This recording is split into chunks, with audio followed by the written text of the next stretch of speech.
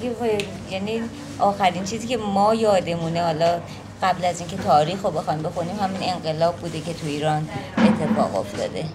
می‌گفتم به خاطر اینکه مردم یه مقدار در فشار بودن. حالا اون موقع می‌گفتن گرونی بوده و هیچی نیست و نمی‌دونم همه چی از راه دین و مذهب دور شده. ولی مردم آزادی کامل می‌خواستن بیشترم آزادی بیان می‌خواستن. مخصوصا دانشجو که این اتفاق افتاد ولی برعکس شد. الان نه تنها آزادی بیان ندارن بلکه خیلی مشکلات بیشتری هم دارن. بعد دیگه دیگه چی بگم؟ دیگه خانمان که در بند اسیر شدن برها اصلا قرار نبود که جمهوری جمهوری اسلامی بشه. قرار بود جمهوری بشه. اگر جمهوری بود مردم خیلی آزادتر از این بودن. ولی باز همه برمیگردن به اینکه کاش همون زمان بود. خدا بیامرزون که منو می‌گیرن می‌کشن اینا رو ببرین خیلی آدم های بدتر گفتن.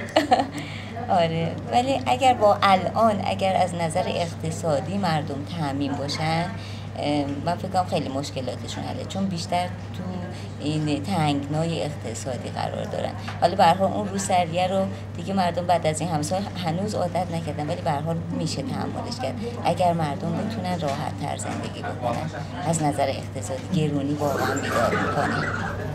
از نظر مسکن از نظر معیشت مردم امرار معاششون اینا خیلی برشون مشکله.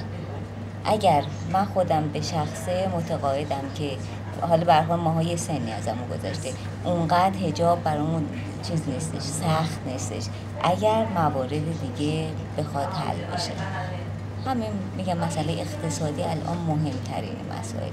اون یه سری میگن نه مسائل عقیدتی و نمی‌دونم اسلام باید فلان کنیم.